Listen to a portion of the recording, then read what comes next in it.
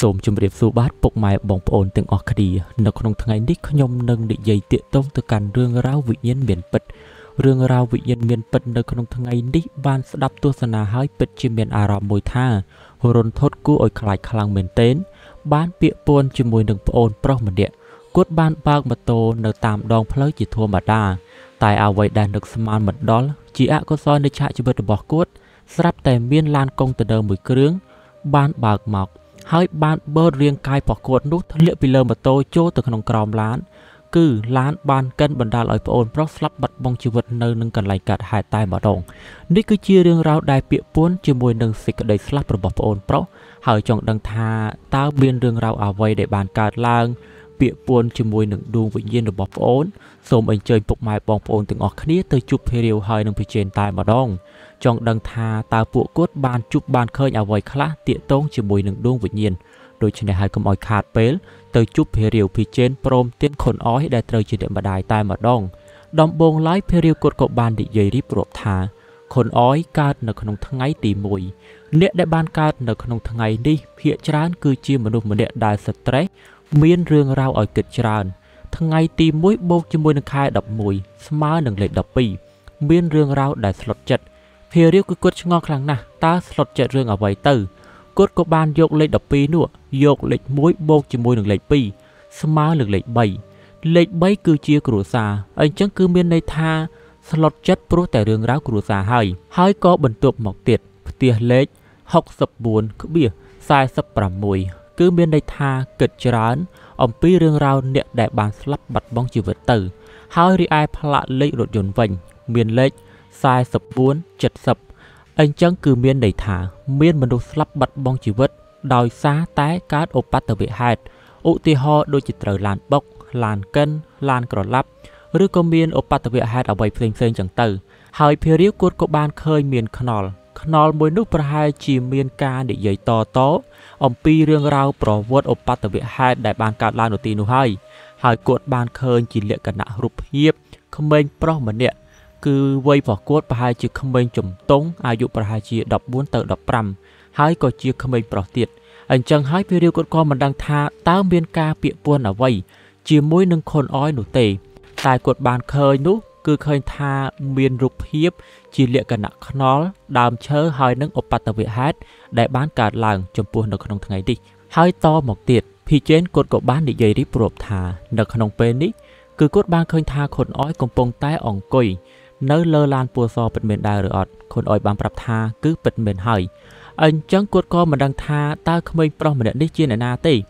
តើត្រូវជាកូនប្រុសរបស់ខុនអយពិតមែនដែរឬអត់ដែលមានអាយុ14ឆ្នាំ6ខែ ខុនអយបានប្រាប់ថាគឺពិតមែនហើយហើយភីជេនគាត់ក៏បាននិយាយបន្ថែមទៀតថាគឺជាធម្មតាកូនប្រុសរបស់ខុនអយតែងតែហៅខុនអយថាម៉ាក់ម៉ាអីដែរឬអត់តែហៅជាលក្ខណៈបាភាសាអឺខ្សែចិនឬក៏ខ្សែអ្វីមួយយ៉ាងចឹងណាបាទដូចជាម៉ាមីឬក៏ម៉ាក់អីចឹងទៅខុនអយបានប្រាប់ថាគឺពិតមែនហើយបន្ទាប់ពីនោះទៅគឺធ្វើឲ្យពិធីកររបស់យើង មានការភ្ញាក់ផ្អើលរន្ធត់ចិត្តយ៉ាងខ្លាំងទៅនឹងអ្វីដែលភិជិនគាត់បាននិយាយនោះ គាត់បានសួរថាតើភីជេនហេតុអ្វីបានជាដឹងថាប្អូនប្រុសមានអាយុ14ឆ្នាំ6ខែភីជេនគាត់បាននិយាយថានៅក្នុងពេលហ្នឹងគឺគាត់អត់បាននិយាយជាមួយនឹងខ្លួនអយទេគឺគាត់កំពុងតែធ្វើការទំនាក់ទំនងនិយាយជាមួយនឹងដួងវិញ្ញាណគឺដួងវិញ្ញាណគឺប្រាប់អំពីរឿងរ៉ាវដែលបានកើតឡើងអាយុឈ្មោះអីគាត់ហ្នឹងគឺប្រាប់មកកាន់ភីជេនដូច្នេះហើយបានជាធ្វើឲ្យគាត់ដឹងហើយក៏បន្ទាប់ពីនោះខុនអយគាត់ក៏បាននិយាយថាគឺពិតមែនហើយ ដូចជាអ្វីដែលពីជេនអីនិយាយនេះគឺពិតជាត្រឹមត្រូវហើយដូចជាការហៅលេងសើចរបស់គាត់នឹងពេលខ្លះទៅគាត់ហៅម៉ាក់ពេលខ្លះទៅគាត់ហៅម៉ាមីអីចឹងទៅ ហើយក៏បន្ទាប់ពីនោះភារីគាត់ក៏បាន កាត់សួរទៅកាន់ខុនអយបន្ថែមទៀតថាតើជាធម្មតាកូនប្រុសរបស់ខុនអយគាត់ចូលចិត្តប្រើពាក្យថា no no ដែរឬអត់ no no នឹងបើតាមអ្វីដែលខ្ញុំបានដឹងប្រហែលជាពាក្យអូនឬក៏ពាក្យខ្ញុំដែលពីរោះស្ដាប់នៅក្នុងភាសាថៃណា អញ្ចឹងខុនអយបានប្រាប់ថាគឺគាត់បានប្រើពាក្យនេះមែនអញ្ចឹងហើយព្រះរាគាត់បានប្រាប់ថាគឺគាត់បានលើប្រយោគដួងវិញ្ញាណនិយាយថានូយ៉ាកັບបានអញ្ចឹងគឺមានន័យថាខ្ញុំចង់ត្រឡប់ទៅផ្ទះឬក៏អូនចង់ត្រឡប់ទៅផ្ទះចឹងទៅ ហើយតមកទៀតភីជេនគាត់ក៏បាននិយាយបន្ថែមទៀតថាអ្វីដែលគាត់បានឃើញនេះ គឺកន្លែងដែលខុនអយកំពុងតែអង្គុយនៅក្បែរកន្លែងដែលប្អូនប្រុស កើតឧបទ្ទវហេតុស្លាប់បាត់បង់ជីវិតពិតមែនដែរឬអត់អញ្ចឹងអ្វីដែលគាត់បានឃើញ គឺឃើញថារាងកាយរបស់ប្អូន បានបាក់ឆ្អឹងឆ្អែកខ្ទេចខ្ទី ក្បាលគឺបានបែកហូរឈាមខួរក្បាលនេះគឺបានហូរតែម្ដងអញ្ចឹងហើយរូបភាពដែលគាត់បានឃើញផ្លូវមួយនេះគឺជាផ្លូវត្រង់ហើយកូនប្រុសរបស់ខុនអយប្រហែលជាបើកបរម៉ូតូប្រហែលជាក្នុងលបឿនលឿនហើយអញ្ចឹងស្រាប់តែមកដល់កន្លែងហ្នឹង ស្រាប់តែមានឧបទ្ទវហេតុដូចជាចាប់ហ្វ្រាំងមិនទួនជ្រុលចង្កូតរអិលដួលក៏បណ្ដាលឲ្យមានគ្រោះថ្នាក់បែបនេះកើតឡើងទៅអញ្ចឹងហើយកន្លែងមួយនេះអ្វីដែលប្រជាជនគាត់បានឃើញគឺមានឡានធំធំបើកបរគឺច្រើន ដូចជាឡានក្រុងឡានកុងតឺន័រដឹកដែកដឹកអីហ្នឹងគឺច្រើនដូច្នេះអ្វីដែលគាត់បានឃើញដែលពាក់ព័ន្ធជាមួយនឹងដួងវិញ្ញាណដួងវិញ្ញាណបានប្រាប់ថាពេលនេះ គឺគាត់រងទុក្ខវេទនាគឺគាត់ឈឺចាប់ពេញខ្លួនប្រាណ ហើយគាត់មានការនឹករលឹកទៅកាន់ខុនអយយ៉ាងខ្លាំងនេះគឺជាអ្វីដែលពីជេនហើយនឹងភេរាវក៏គាត់បានទទួលដឹងដូច្នេះហើយចង់ដឹងថាតើអ្វីដែលពួកគាត់បានឃើញហ្នឹងតើពិតឬក៏មិនពិតមានរឿងរ៉ាវអ្វីខ្លះគឺខុនអយនិយាយរៀបរាប់តែម្ដងខុនអយគាត់បាននិយាយរៀបរាប់ថាកូនប្រុសរបស់គាត់គឺមានអាយុ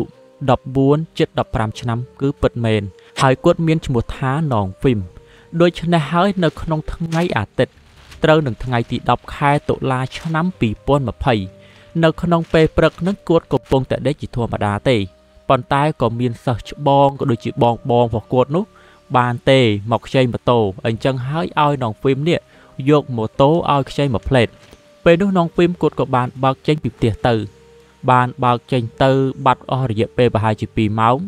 ខុនអយគាត់ក៏បានទេតាកតងប្រហែលជា4 5ដងប៉ុន្តែកូនប្រុសអត់បានទទួលទេ លុះដល់ប្រហែលជាម៉ោង5ជាងទៅម៉ោង6ល្ងាចក៏មានទូរស័ព្ទទេមកប្រាប់ខុនអយថានៅក្នុងពេលនេះគឺប្អូនហ្វីមបានទទួលមរណភាពគឺបានស្លាប់បាត់បង់ជីវិតទៅហើយនៅក្នុងពេលនោះគឺខុនអយគាត់គៀងតែម្ដង គឺគាត់នឹកស្មានមិនដល់ថា វាមានរឿងរ៉ាវបែបនេះកើតឡើងទេបាទ អញ្ចឹងពេលដែលគាត់បានទៅដល់ពេលដែលគាត់បានដឹងការពិតធ្វើឲ្យជីវិតរបស់គាត់ស្ទើរតែស្លាប់ទាំងរស់គឺបេះដូងប្រមាថអីហ្នឹងគឺស្ទើរតែជ្រុះចេញពីខ្លួនបាត់ទៅហើយបាទដោយសារតែគាត់ស្រឡាញ់កូនប្រុសម្នាក់នេះគឺខ្លាំងមែនទែនអញ្ចឹងមូលហេតុដែលប្អូនប្រុសស្លាប់បាត់បង់ជីវិតគឺគាត់បានជិះម៉ូតូហើយឡានកុងតឺន័រឡាន A18 កង់ណាបានបើកមកគឺបានបឺតស្រូបកូនប្រុសរបស់គាត់ធ្លាក់ពីលើម៉ូតូហើយក៏បានកិន ពីមកកណាត់ខ្លួនបាទគឺត្រឹមបាទកផ្លូវគឺឡើងមកលើគឺត្រូវឡានកិនខ្លួនប្រាងគឺត្រូវបានខ្ទេចខ្ទីហើយរីឯក្បាលក៏បានកិនបែកឈាមហូរខួរអីហ្នឹងដោយអ្វីដែលភិជានគាត់បានមើលឃើញពិតប្រាកដមែនប៉ុន្តែបន្ទាប់ពីបានកើតហេតុការណ៍នោះទៅគាត់ក៏បានសួរទៅតកងឡានថាមានរឿងរ៉ាវអីតកងឡានគាត់បានប្រាប់ថាគាត់ក៏អត់ដឹងដែរដោយសារតែគាត់មើលអត់ឃើញប្អូនសោះបាទគឺគាត់មើលអត់ឃើញទេ ហើយអ្វីដែលរន្ធត់គូឲ្យព្រឺព្រួយជាងនឹងទៅទៀតនោះគឺស្រាប់តែមានបុរសម្នាក់គាត់បានដើរមកសួរទៅកាន់ខុនអយថាចុះប្អូនប្រុសម្នាក់ទៀតដែលបានជិះនៅខាងក្រោយខ្នងរបស់ខុនអយដែលបានពាក់អាវពួរទៅក្រូចតើយ៉ាងម៉េចយ៉ាងម៉ាទៅហើយតើគាត់អត់អីទេអី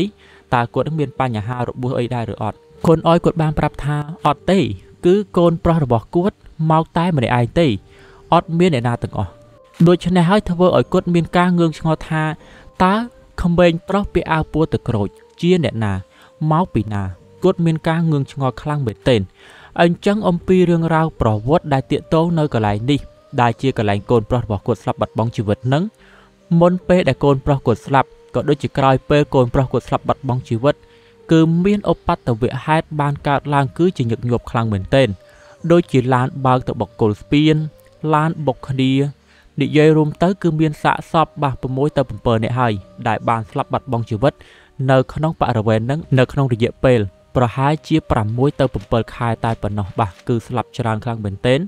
ដូច្នេះហើយគឺមានករណីមួយដែលរន្ធត់គូឲ្យខ្លាចនោះគឺស្ត្រីមានផ្ទៃពោះម្នាក់គឺត្រូវឡានបុក ហើយអ្វីដែលរន្ធត់ឡានបានបុកគឺហោះបាទហោះហើយក៏បានធ្លាយកូនចេញពីពោះ ហើយអ្វីដែលរន្ធត់ជាងនឹងទៅទៀតនោះគឺកូនប្រកួត បានកំបត់ក្បាលទៀតបាទធ្លាយកូនចេញពីពោះហើយកូនបានកំបត់ក្បាលទៀត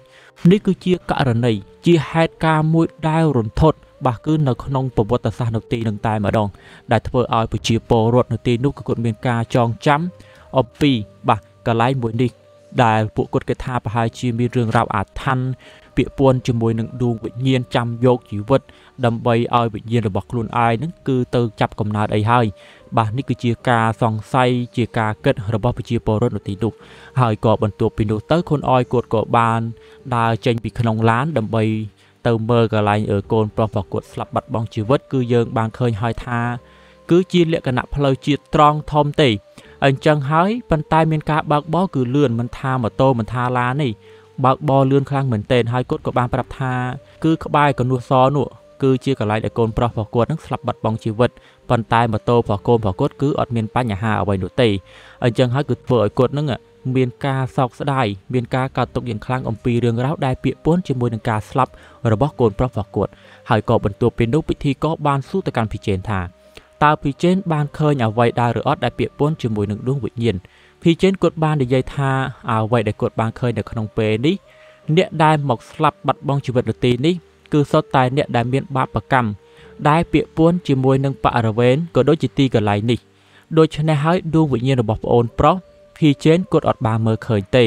គឺមានន័យថាប្រហែលជាគាត់នឹងបានធ្វើដំណើរទៅកាន់សុគតិភពហើយ ហើយការស្លាប់របស់គាត់ក៏អត់មានការពាក់ព័ន្ធជាមួយនឹងដួងវិញ្ញាណមកយកជីវិតមកតាមសម្លាប់អីហ្នឹងគឺអត់មានទេ បាទគឺពាក់ព័ន្ធជាមួយនឹងអាយុសង្ខាររបស់គាត់ពាក់ព័ន្ធជាមួយនឹងបាបកម្មរបស់គាត់ដែលមានជំពាក់ចម្ពួនជាមួយនឹងបរិវេណទីនេះទេគឺអត់មានពាក់ព័ន្ធជាមួយនឹងដួងវិញ្ញាណខ្មោចមកសម្លាប់អីទេគឺអត់មានទេបាទនេះគឺជាសម្ដីរបស់ភីជេនិយាយហើយភីរាវគាត់ក៏បាននិយាយបន្ថែមទៀតថាអ្វីដែលគាត់បានឃើញគឺដួងវិញ្ញាណប្អូន អត់មាននៅទីនេះទេ គឺគាត់អត់បានឃើញ ហើយចំពោះរឿងរ៉ាវដែលគិតថា មានដួងវិញ្ញាណមកយកជីវិតអីហ្នឹងក៏អត់មានដែរដោយសារតែព្រះសម្មាសម្ពុទ្ធគឺគាត់មានពុទ្ធិកាឲ្យថាឆាកជីវិតមនុស្សយើងម្នាក់ម្នាក់គឺសុទ្ធតែមានកម្មរៀងរៀងខ្លួនអញ្ចឹងកម្មគឺជាអ្នកកំណត់នៃឆាកជីវិតរបស់យើងដូច្នេះអត់មានពាក្យពួនជាមួយនឹងដួងវិញ្ញាណមកសម្លាប់អីហ្នឹងគឺអត់មានទេបាទគឺជាបាបកម្មនៅក្នុងខ្លួនរបស់យើង ដែលយើងបានសាងពីជាតិមុនឬក៏ជាតិណាក៏ដោយបាទនេះគឺជាអ្វីដែលព្រះរាជគឺគាត់បាននិយាយហើយគាត់ក៏និយាយបន្ថែមទៀតថាតើពេលដែលប្អូនប្រុសស្លាប់បាត់បង់ជីវិតទៅខុនអយបានយកអ្វីដាក់ចូលនៅក្នុងផ្ទះដែរឬអត់ខុនអយបានប្រាប់ថាគឺគាត់បានយកសាកសពហ្នឹងទៅធ្វើបន់នៅក្នុងផ្ទះតែម្ដងហើយភារាវគាត់បានសួរបន្ថែមទៀតថាចុះពេលដែលលោកឪពុកបានឃើញសាកសពរបស់កូនហើយលោកឪពុកបាននិយាយអ្វីដែរឬអត់លោកឪពុកបានប្រាប់ថា សូមឲ្យកូនត្រឡប់មកនៅជាមួយនឹងលោកឪពុកវិញអញ្ចឹងហើយព្រះរាជគាត់បាននិយាយថានេះហើយគឺជាពាក្យសម្ដីរបស់ដួងវិញ្ញាណកូនប្រុសគាត់បានប្រាប់ថាខ្ញុំចង់ត្រឡប់ទៅផ្ទះដោយសារតែសម្ដីរបស់លោកឪពុកបាននិយាយបែបនេះឯងអញ្ចឹងព្រះរាជគាត់ក៏បានសួរទៅកាន់ខុនអយបន្ថែមទៀតថាតើខុនអយចាំបានដែរឬអត់នៅក្នុងថ្ងៃដែលខុនអយទិញម៉ូតូឲ្យកូនប្រុសតើខុនអយនិយាយអ្វីខ្លះខុនអយគាត់បានប្រាប់ថាគឺគាត់ចាំដូច្នេះព្រះរាជគាត់ក៏បាននិយាយបញ្ជាក់ប្រាប់ថា នៅក្នុងថ្ងៃដែលខុនអយទៅទិញម៉ូតូឲ្យកូនប្រុសខុនអយអត់សូវមានការពេញចិត្តទេនៅក្នុងថ្ងៃហ្នឹងហើយខុនអយក៏បាននិយាយទៅកាន់កូនទៀតថាបើសិនជាម្ដាយទិញម៉ូតូឲ្យកូនហើយកូនកើតអ្វីទៅតើម្ដាយខូចចិត្តយ៉ាងណាបាទនេះគឺជាពាក្យសម្ដីរបស់ខុនអយបាននិយាយទៅកាន់កូនប្រុសនៅក្នុងថ្ងៃហ្នឹងអញ្ចឹងហើយដោយសារតែមូលហេតុទាំងអស់នោះខុនអយបានទិញម៉ូតូជាមួយកូនមិនបានប្រាប់ទៅកាន់ប្តីទេ អត់ឲ្យប្តីដឹងបានទិញដោយស្ងាត់ស្ងាត់ពេលដែលកូនប្រុសកើតឧបទ្ទវហេតុស្លាប់បាត់បង់ជីវិតបែបនេះទៅ គឺធ្វើឲ្យខុនអយមានការគិតថាដោយសារតែខ្លួនយើងនេះគឺជាអ្នកសម្លាប់កូន បើសិនជាយើងអត់ទិញម៉ូតូឲ្យកូនទេ ប្រហែលជាកូនប្រុសរបស់ខ្លួនមិនស្លាប់បាត់បង់ជីវិតទេអញ្ចឹងហើយនេះគឺជាអ្វីដែលខុនអយកំពុងតែមានការគិតកំពុងតែបន្ទោសខ្លួនឯងជារៀងរាល់ថ្ងៃបាទ គឺពាក្យពួនជាមួយនឹងអំពីរឿងរ៉ាវទាំងអស់នេះឯងហើយក៏បន្ទាប់ពីនោះទៅខុនអយគាត់ក៏បានសួរបន្ថែមទៀតថាតើបុណ្យកុសលដែលគាត់បានធ្វើតើកូនប្រុសរបស់គាត់បានទទួលយកដែរឬអត់ភារាគាត់បាននិយាយបន្ថែមទៀតថាបុណ្យកុសល ដែលបានធ្វើចេញពីទឹកចិត្តរបស់អ្នកម្ដាយគឺមិនថាដួងវិញ្ញាណធ្លាក់ទៅនៅទីណាទេ គឺដឹងតែទទួលបានហើយតែរឿងមួយយ៉ាង ដែលធ្វើឲ្យដួងវិញ្ញាណ ទទួលបានឬក៏មិនបាននោះគឺអាស្រ័យនៅលើបាបកម្មដែលគាត់បានសាង ថាគាត់បានសាងកម្មអីអញ្ចឹងបើសិនជាគាត់បានសាងកម្មតិចតួចអានឹងគឺបានហើយតែបើសិនជាគាត់បានសាងកម្មមួយដែលធំដូចជា ធ្វើការសម្លាប់ខ្លួនឯងធ្វើការវាយធ្វើបាបទៅកាន់លោកឪពុកអ្នកម្ដាយអញ្ចឹងគឺជាបាបមួយដែលធ្ងន់ដូច្នេះ